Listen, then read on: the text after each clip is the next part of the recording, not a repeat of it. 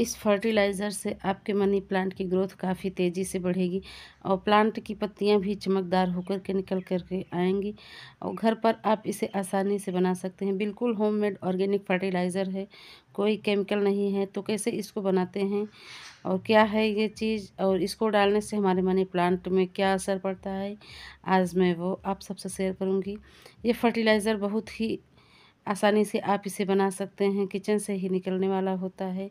हमारे money plant की growth को काफ़ी तेज़ी से बढ़ाएगा और मनी प्लांट की पत्तियाँ जो है बड़ी होकर के निकल आ आएँगे दोस्तों। हेलो दोस्तों, वेलकम है आप सभी का मेरे यूट्यूब चैनल में। तो आज का प्लांट है मेरा मनी का प्लांट।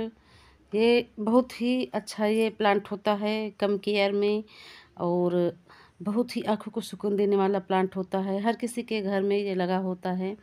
तो आप भी मनी प्लांट लगाते हो तो कैसे इसकी गर्मियों में हम देखभाल करें और कौन सा ऐसा फर्टिलाइज़र डालें जिससे हमारे मनी प्लांट की पत्तियाँ जो है वो बड़ी होकर के निकल कर के आएँ और प्लांट की ग्रोथ जो है बहुत तेज़ी से हो और प्लांट बिल्कुल घना हो जाए जल्दी से आपका। तो ये देखिए दोस्तों, ये मेरा मनी प्लांट, ये कितना घना है, कितनी अच्छी इसकी ग्रोथ चल रही है और काफ़ी बुसी भी है ये मेरा पौधा। तो कैसे इसकी मैं देखभाल करती हूँ दोस्तों? आज मैं वो आप सबसे शेयर करूँगी। तो मनी प्लांट एक शुभ पौधा होता है, इसे हर कोई लगाना चाहता है अपने घर में और लगाते भी हैं सभी लोग। तो इसे लगाने से पहले कुछ ज़रूरी बातें भी जानना ज़रूरी होता है, जिससे हमारे मनी प्लांट अच्छे से ग्रोथ कर सके। तो अगर आप भी इसे लगाना चाहते हैं दोस्तों तो कैसे इसको लगाएँ? तो इसे आप तीन तरह से प्रोपोगेट कर सकते हैं। एक, इसकी कटिंग्स आप लगा करके इसे प्रोपोगेट कर सकते हैं। एक इसे पानी में लगा करके आप इसको प्रोपोगेट कर सकते हैं। और एक अगर आपसे कटिंग नहीं लगती है दोस्तों तो इसकी जो ब्रांचेज़ हैं, इसको किसी गमले में आप रख करके मिट्टी से दबा दीजिए।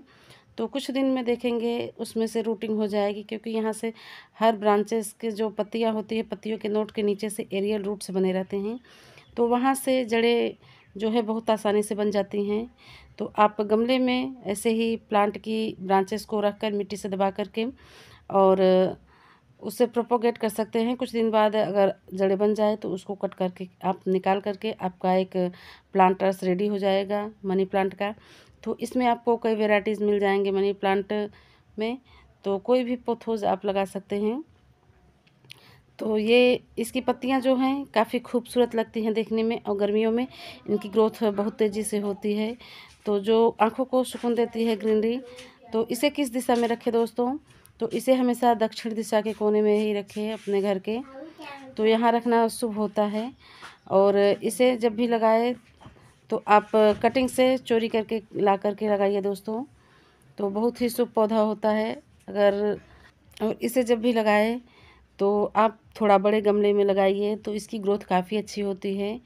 और एक कटिंग्स गमले में नहीं लगाना है दोस्तों, काफ़ी ढेर सारे कटिंग्स लगाना है ताकि चारों तरफ़ से आपका जो प्लांट है बिल्कुल घना और भूसी हो जाए। और मोस स्टिक ज़रूर लगा करके रखिए ताकि प्लांट को उस पर आप चढ़ाए रहेंगे। तो उसकी जड़ों को जो है मॉइस्चर मिलता रहेगा। मोस स्टिक अगर आप लगाएँगे तो उस पर पानी हमेशा स्प्रे करते रहिए, डालते रहिए। तो उससे जो मॉइस्चर है, प्लांट को नमी बहुत पसंद होती है तो उससे मॉइस्चर हमेशा प्लांट को मिलता रहता है। तो वो मॉइस्चर की वजह से इसकी जो पत्तियाँ हैं, वो काफ़ी बड़ी होकर के आती हैं और पत्तियों को चमकदार बनाने के लिए दोस्तों, आप इस पर रोज़ाना पानी का स्प्रे करते रहिए। और नाइट्रोजन युक्त फर्टिलाइज़र इसमें डालेंगे तो पत्तियाँ जो है, बड़ी होकर के निकल कर के आएँगी और प्लांट की ग्रोथ भी काफ़ी तेज़ी से होती है। तो मनी प्लांट को ज़्यादा फर्टिलाइज़र या हैवी फीडर प्लांट नहीं है, इसको ज़्यादा फर्टिलाइज़र या खाद की ज़रूरत नहीं होती है।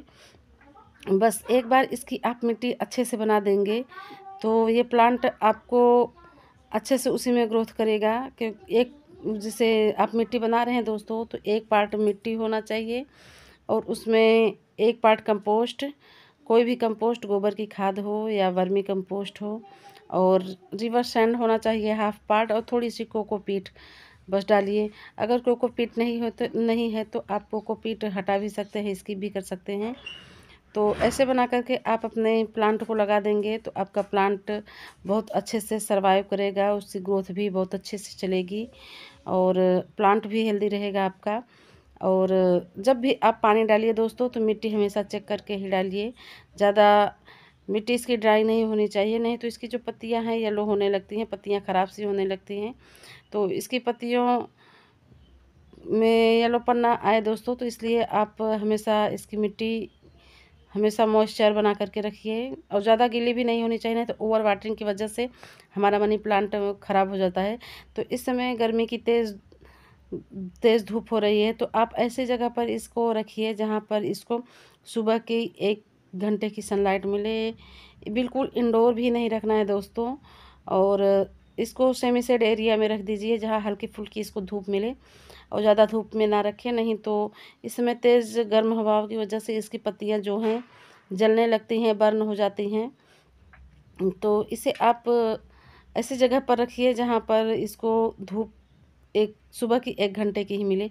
तो ये जो है ब्रांचेस हैं दोस्तों तो इसको आप ऐसे ही स्टिक पर चढ़ाते जाएँगे, लपेटते जाएँगे तो ये आपका पौधा अपने आप ही घना होता जाएगा और इसकी ग्रोथ भी काफ़ी अच्छी होगी। जो मॉस स्टिक पर हम चढ़ाते हैं तो हमारे पानी डालने की वजह से नमी बनी रहती है तो मॉइस्चर मिलता रहता है प्लांट को ठंडक मिलती रहती है।